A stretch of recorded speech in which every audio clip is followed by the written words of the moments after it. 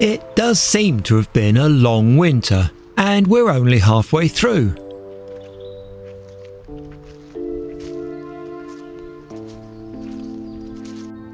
During the autumn, I managed to complete some of the Linley's Garden Railway development bits planned for the winter, but with the bad weather recently and other stuff going on, I just haven't managed to spend enough time outside in the garden recently.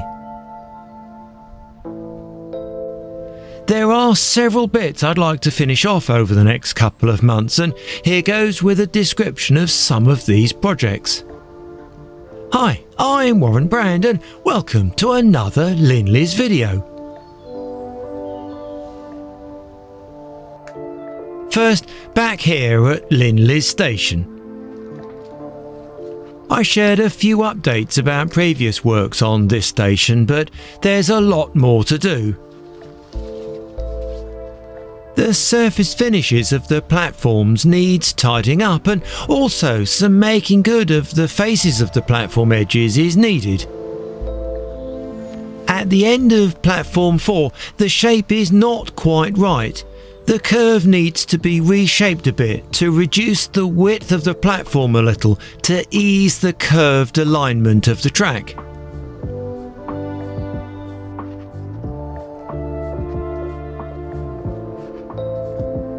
The suburban line loops around the back of the garden shed and it needs completely overhauling.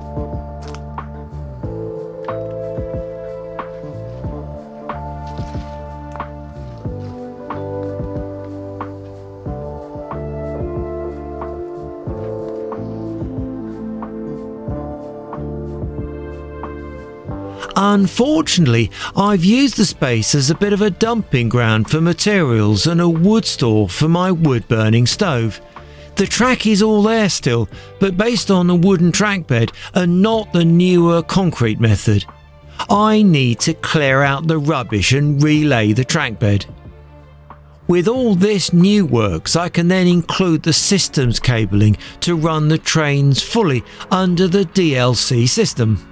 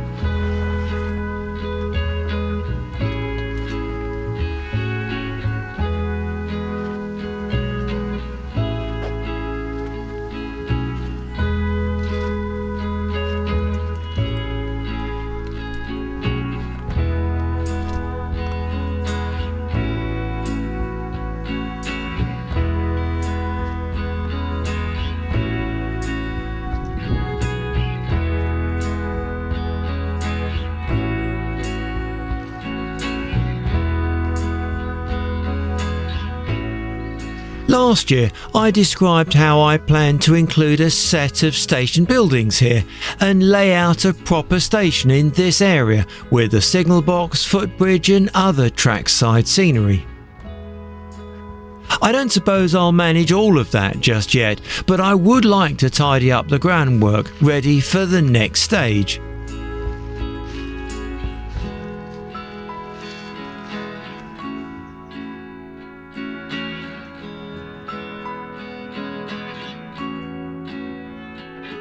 I only realised a week or so ago that I've not done as much of the underground ducting works as I thought I had. I need a deep level cable connection route across from this junction point across to the junction hidden under the blue flower pot. I'd only laid part of it under the path and not the whole thing.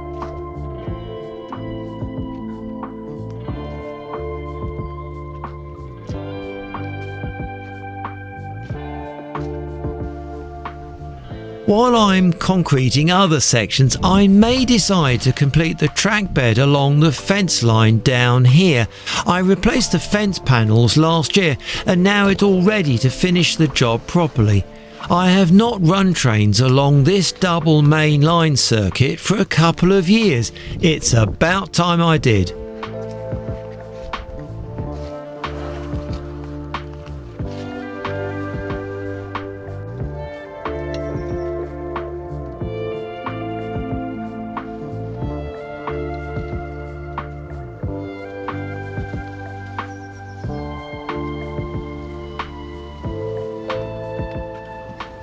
If you are interested in more aspects of the development of Linley's Garden Railway, please take a look at the relevant playlists for the sections of the layout or use one of the link cards at the end of the video here.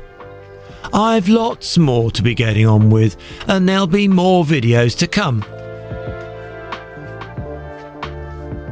Back at Linley Station, I should begin the design work for the twin diamond crossovers. I need to make these. I described this junction area in an earlier video. If you have any constructive suggestions or questions, please do comment below. Thanks for watching and bye for now.